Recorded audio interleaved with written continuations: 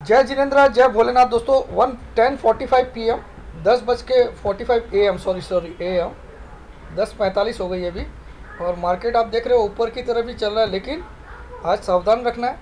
आज आपको बाई तभी करना है वापस।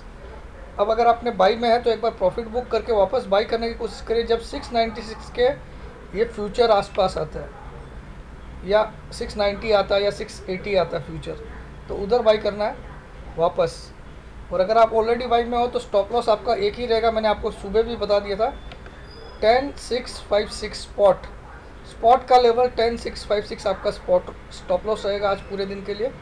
Ten six five six spot का लेवल आज पूरे दिन के लिए आपका स्टॉप लॉस रहेगा। और अभी कोई स्टॉक मैं आज जब तक मुझे कोई कॉल अच्छा नहीं लगेगा या कोई कंफर्म नहीं लगेगा तब तक मैं कुछ देने वाला नहीं हूँ। तब तक आप सावधान रखिए जहाँ ऊपर जाता अपना प्रॉफिट बुक करिए।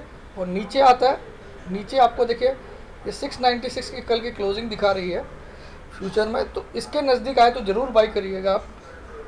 ऐसा मेरा मानना है 690 या 680 फ्यूचर में अगर आता है तो बाई करिए। और 656 स्पॉट का लेवल आपका स्टॉप लॉस रहेगा 656 तो ये थोड़ा सा ध्यान रखिएगा। और अगर आपने ऑलरेडी बाई कर रखा है तो थोड़ा थोड़ा प्रॉफिट बुक करते जाइए, क्योंकि एक रेजिस्टेंस इसको मिला है 776 पे, आप देखिए। 776 पे इसने एक रेजिस्टेंस लिया तो जब तक उसको ब्रेक नहीं करेगा, तब तक और फर्दर तेज़ी नहीं आएगी अभी। ध्यान रखिएगा। और एक बार मुझे लगता है बैंक निफ्टी भी एक बार 600 के आसपास आएगा। बाईस छः सौ के आसपास। उधर बाई करना चाहिए। और उसका स्टॉप लॉस आप लोग बाईस चार सौ रख सकते हो फ्यूचर में। बाईस तीन सौ पचास रख सकते हो फ्यूचर में। बाईस तीन सौ पचास। ये मैंने आपको बता दिया। तो बाकी आप मेरा डिस्क्लेमर ज़रूर पढ़ लिया करिए। मेरे वीडियो के हर डिस्क्रिप्शन हर वीडियो के डिस्क्रिप्शन बॉक्स में रहता है तो उसको पढ़ना अनिवार्य है, क्योंकि ये सारे व्यूज़ मेरे एजुकेशनल पर्पज़ के लिए। आप अपने किसी अच्छे जानकार, सलाहकार, जो सेबी रजिस्टर्ड रिसर्च एनालिस्ट हो, उससे पूछ के ही कोई ट्रेड लीजिएगा। मैं और मेरा चैनल कभी भी जिम्मेदार नहीं रहेंगे आपके, किसी भी लॉस होने के जिम्मेदार हम लोग नहीं रहेंगे।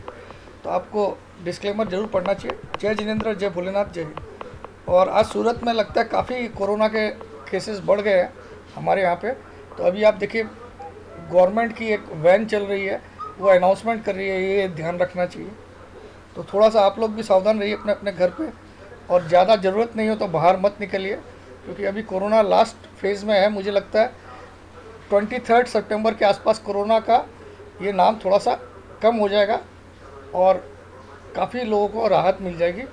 तेईस सितंबर को जब राहु अपनी राशि चेंज करेगा फ्रॉम मिथुन टू वो साइड मेरे ख्याल में, मिथुन राशि में है भी राहु तो वहाँ से राशि चेंज करेगा। ये थोड़ा सा मैं एस्ट्रोलॉजिकल भी बता दिया जय जिनेन्द्र, जय भोलेनाथ, जय